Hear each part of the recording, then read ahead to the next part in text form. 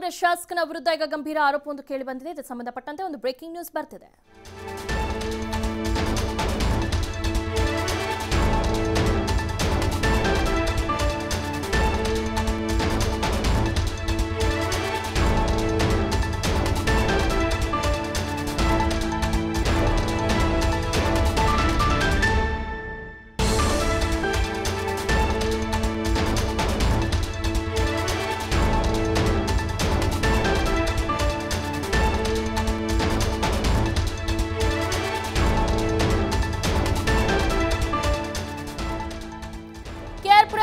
ಶಾಸಕನ ವಿರುದ್ಧ ಈಗ ಗಂಭೀರ ಆರೋಪವೊಂದು ಕೇಳಿಬಂದಿದೆ ಬಿಡಿಎ ಪಾರ್ಕ್ಗೆ ಮೀಸಲಿಟ್ಟಿದ್ದ ಜಾಗದಲ್ಲಿ ಮಸೀದಿಯನ್ನ ನಿರ್ಮಾಣ ಮಾಡಿದ್ದಾರೆ. ಬಿಡಿಎ ಅಧಿಕಾರಿಗಳ ವಿರೋಧ ಲೆಕ್ಕಿಸದೆ ಮಸೀದಿಯನ್ನ ನಿರ್ಮಾಣ ಮಾಡಿದ್ದು ಕೆಆರ್ಪುರಂ ಕ್ಷೇತ್ರದಲ್ಲೇ ಮಾಜಿ ಸಿಎಂ ಸಿದ್ದರಾಮಯ್ಯ ಇಷ್ಟ ಬಂದಂಗೆ ಆಟ ಆಡ್ತಾ ಇದ್ದಾರಂತೆ. ಗದಲಹಳ್ಳಿ ಸರ್ವೆ ನಂಬರ್ ಇಪ್ಪತ್ತಾರು ಪಾರ್ಕ್ ಜಾಗದಲ್ಲಿ ಅಕ್ರಮವಾಗಿ ಮಸೀದಿಯನ್ನ ನಿರ್ಮಾಣ ಮಾಡಿದ್ದಾರೆ. ಬೆಂಗಳೂರು ಅಭಿವೃದ್ಧಿ ಪ್ರಾಧಿಕಾರದ ಸದಸ್ಯ ಆಗಿದ್ದಾಗ ಶಾಸಕರು ಈ ರೀತಿ ನಿರ್ಮಾಣ ಮಾಡಿದ್ದಾರೆ. ಅಷ್ಟೇ ಅಲ್ಲ, ಮಸೀದಿ ನಿರ್ಮಾಣಕ್ಕೆ ಕಾಂಗ್ರೆಸ್ ಕ್ಷೇತ್ರದ ಶಾಸಕರ ಬೆಂಬಲ ಕೂಡ ಇದೆಯಂತೆ. ಕೆಆರ್ಪುರಂ ಕ್ಷೇತ್ರ ಶಾಸಕರ ವಿರುದ್ಧ ಈಗ ಗೆದ್ದಲಹಳ್ಳಿ ಗ್ರಾಮಸ್ಥರು ಆಕ್ರೋಶವನ್ನ ವ್ಯಕ್ತಪಡಿಸಿದ್ದಾರೆ. ಸೋಮವಾರದವರಿಗೆ ಬಿಡಿಎಗೆ ಡೆಡ್ಲೈನ್ ಕೂಡ ನೀಡಿದ್ದಾರೆ ಗೆದ್ದಲಹಳ್ಳಿ ನಿವಾಸಿಗಳು.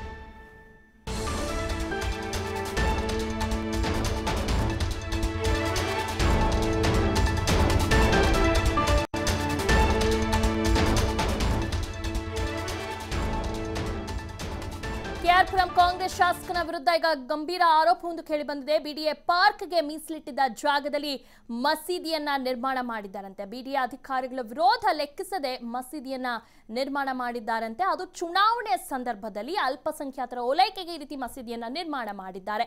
ಕೆಆರ್ಪುರಂ ಕ್ಷೇತ್ರದಲ್ಲಿ ಮಾಜಿ ಸಿಎಂ ಸಿದ್ದರಾಮಯ್ಯ ಆಪ್ತ ಶಾಸಕರ ಆಟ ನಿಜಕ್ಕೂ ಅವ್ರನ್ನ ಕೇಳೋಕೆ, ಹೇಳೋಕೆ, ಕೇಳೋಕೆ ಯಾರೂ ಇಲ್ಲವಂತೆ ಗೆದ್ದಲಹಳ್ಳಿ ಸರ್ವೆ ನಂಬರ್ ಇಪ್ಪತ್ತಾರು ಪಾರ್ಕ್ ಜಾಗದಲ್ಲಿ ಅಕ್ರಮವಾಗಿ ಈ ರೀತಿ ಮಸೀದಿಯನ್ನ ನಿರ್ಮಾಣ ಮಾಡಿದ್ದಾರಂತೆ. ಅಷ್ಟೆಲ್ಲ ಬೆಂಗಳೂರು ಅಭಿವೃದ್ಧಿ ಪ್ರಾಧಿಕಾರದ ಸದಸ್ಯ ಆಗಿದ್ದಾಗ ಈ ರೀತಿ ನಿರ್ಮಾಣ ಮಾಡಿದ್ದಾರೆ. ಜೊತೆಗೆ ಮಸೀದಿ ನಿರ್ಮಾಣಕ್ಕೆ ಕಾಂಗ್ರೆಸ್ ಕ್ಷೇತ್ರದ ಶಾಸಕರ ಬೆಂಬಲವನ್ನು ಕೂಡ ವ್ಯಕ್ತಪಡಿಸಿದ್ದಾರಂತೆ. ಕೆಆರ್ಪುರಂ ಕ್ಷೇತ್ರ ಶಾಸಕರ ವಿರುದ್ಧ ಈಗ ಗೆದ್ದಲಹಳ್ಳಿ ಗ್ರಾಮಸ್ಥರು ಆಕ್ರೋಶವನ್ನ ವ್ಯಕ್ತಪಡಿಸಿದ್ದಾರೆ. ಸೋಮವಾರದವರೆಗೆ ಬಿಡಿಎಗೆ ಡೆಡ್ಲೈನ್ ಕೂಡ ನೀಡಿದ್ದಾರೆ ಗೆದ್ದಲಹಳ್ಳಿ ನಿವಾಸಿಗರು. ಓಕೆ ಬಗ್ಗೆ ಹೆಚ್ಚಿನ ಮಾಹಿತಿಯನ್ನ ನೀಡ್ತಾರೆ ನಮ್ಮ ಪ್ರತಿನಿಧಿ ಕೃಷ್ಣ. ಕೃಷ್ಣ, ಒಂದು ಕಡೆ ಅದು ಬಿ ಡಿ ಎ ಪಾರ್ಕ್ನ ನಿರ್ಮಿಸಬೇಕಾಗಿತ್ತು. ಇವರು ಮಸೀದಿಯನ್ನ ನಿರ್ಮಾಣ ಮಾಡಿದ್ದಾರೆ ಚುನಾವಣೆ ಸಂದರ್ಭದಲ್ಲಿ ಅಲ್ಪಸಂಖ್ಯಾತರ ಓಲೈಕೆಗೆ. ಯಾರನ್ನ ಕೇಳಿ ನಿರ್ಮಾಣ ಮಾಡಿದ್ರಂತೆ?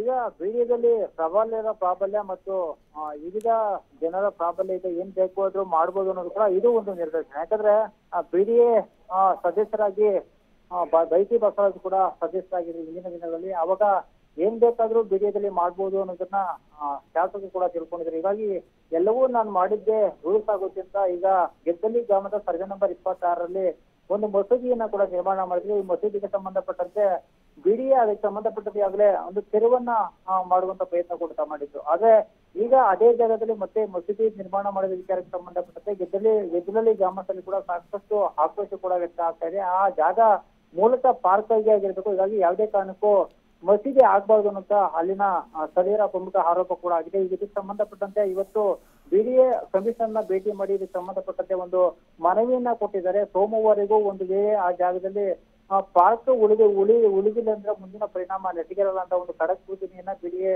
ಕಾರ್ಯದರ್ಶಿಯಾಗಿರುವಂತಹ ಸೆಕ್ರೆಟರಿಗೆ ಒಂದು ಗಡುವನ್ನ ಕೂಡ ನೀಡಿದ್ದಾರೆ. ಒಂದು ವೇಳೆ ನಾ ಸೋಮವಾರಿಗೂ ಅಂತಿಮ ನಿರ್ಧಾರವನ್ನ ತೆಗೆದುಕೊಳ್ಳಿದ್ರೆ ಮುಂದಿನ ತೀರ್ಮಾನವನ್ನ ದೊಡ್ಡ ಹೋರಾಟ ಮಾಡುವಂತ ಎಚ್ಚರಿಕೆಯನ್ನ ಕೂಡ ಮಾಡಿ, ಮಾಡ್ತಾ ಇದ್ದಾರೆ. ಹೀಗಾಗಿ ಬಿಡಿಎದಲ್ಲಿ ಬೈತಿ ಬಾಸರಾಜ್ ಅವರ ಆಟ ಕೇವಲ ಇದೇ ಇದೇ ಮೊದಲ ದಿನ ಅಲ್ಲ ಸಾಕಷ್ಟು ದಿನಗಳಿಂದ ಬಿಡಿಯಲ್ಲಿ ಬೈತಿ ಬಸವರಾಜ್ ಆಟ ಕೂಡ ಮುಂದೂಡ ಏನೇ ಕೆಲಸ ಆಗಬೇಕಂದ್ರೆ ಬಿಡಿಎ ಆಯುಕ್ತರ ಕಚೇರಿಗೆ ನೇರವಾಗಿ ನುಗ್ತಾರೆ. ಯಾವುದೇ ಆಫೀಸರ್ ಆಫೀಸರ್ ಹತ್ರ ಕೂಡ ನೇರವಾಗಿ, ಅಂದ್ರೆ D S one D S two ಸೇರಿದಂತೆ ವಿವಿಧ ಅಧಿಕಾರಿಗಳು ಯಾವುದೇ ಕೆಲಸ ಆಗಬೇಕಂದ್ರೆ ನೇರವಾಗಿ ನುಗ್ಗಿ ದಾಂಧಲೆ ಮಾಡಿ ಕೆಲಸ ಮಾಡುವಂತ ಪ್ರಯತ್ನ ಅನೇಕ ಹಿಂದಿನ ದಿನಗಳಿಂದ ಕೂಡ ನಡೆದಿದೆ. ಹೀಗಾಗಿ ಈ ವಿಚಾರದಲ್ಲೂ ಕೂಡ ಬಿಡಿಎ ಅಧಿಕಾರಿಗಳಿಗೆ, ಬಿಡಿಎ ಆಯುಕ್ತರಿಗೆ ಎಲ್ಲವೂ ಕಡೆ ಒತ್ತಡ ಹಾಕಿ ಈ ರೀತಿಯ ಕೆಲಸವನ್ನ ಮಾಡ್ಕೊಂಡಿದ್ದಾರೆ ಒಂದು ಆರೋಪ ಕೂಡ ಅವರ ಮೇಲೆ ಇದೆ. ಹೀಗಾಗಿ ಇದಕ್ಕೆ ಸಂಬಂಧಪಟ್ಟಂತೆ ಈಗ ಗೆದ್ರಳ್ಳಿ ಗ್ರಾಮಸ್ಥರು ಸಾಕಷ್ಟು ಆಕ್ರೋಶವನ್ನು ಕೂಡ ವ್ಯಕ್ತಪಡಿಸಿದ್ದಾರೆ. ಯಾವುದೇ ಕಾರಣಕ್ಕೂ ಮಸೀದಿ ಆಗ್ಬಾರ್ದು ಅಂತ ಒತ್ತಾಯವನ್ನು ಕೂಡ ಮಾಡ್ತಾರೆ ಹೀಗಾಗಿ ಬಿಡಿಎ ಯಾವ ನಿರ್ಧಾರವನ್ನ ತೆಗೆದುಕೊಳ್ಳುತ್ತೆ ಅನ್ನೋ ಅನ್ನೋದ್ರ ಮೇಲೆ ಅದರ ಮುಂದಿನ ನಿರ್ಧಾರ ಕೂಡ ಆಗುತ್ತೆ.